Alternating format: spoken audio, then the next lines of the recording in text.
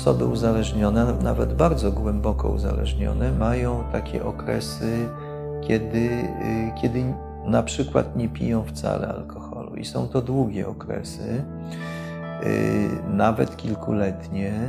No i y, można zapytać, czy te kilkuletnie okresy no nie świadczą o tym, że oni jednak, mimo uzależnienia, posiadają taką zdolność, umiejętność jakiegoś panowania nad tym uzależnieniem, kontrolowania go.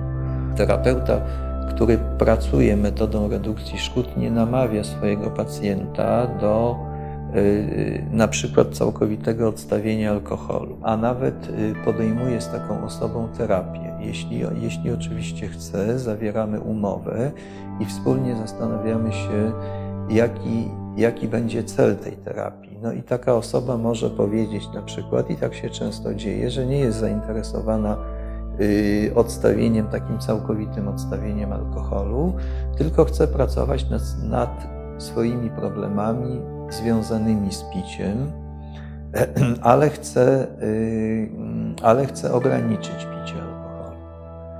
Y, przede wszystkim to ta metoda zakłada, że w przypadku wielu osób rozwiązanie yy, yy, takich głębszych emocjonalnych problemów bardzo pomaga w yy, opanowaniu yy, uzależnienia. Czyli to jest inne założenie niż w tradycyjnej metodzie, bo tradycyjna metoda mówi najpierw pełna abstynencja, trzeźwość czy całkowite całkowite odstawienie tej substancji, a dopiero potem możemy się zajmować innymi sprawami. Bardzo wiele osób, które, y, które przychodziły na terapię tą tradycyjną metodą, to prędzej czy później, raczej prędzej rezygnowało z tej terapii, bo nie byli w stanie po prostu nie pić.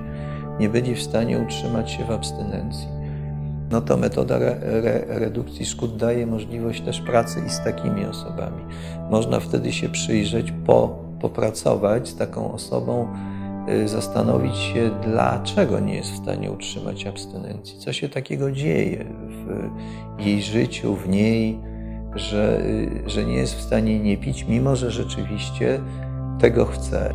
Y, też pracując metodą redukcji szkód, terapeuta widzi, jeśli uważnie patrzy, jeśli pracuje z tym z tą osobą, no to widzi, że nie każda osoba, znaczy jeśli pracuje z osobami uzależnionymi, to widzi, że, nie, y, że, y, no, że są osoby, dla których rzeczywiście pełna abstynencja jest właściwie no, optymalnym rozwiązaniem, czy często nawet ratuje życie takiej, takiej osoby. Więc jeśli, jeśli terapeuta ma tego świadomość, no to nie będzie pracował.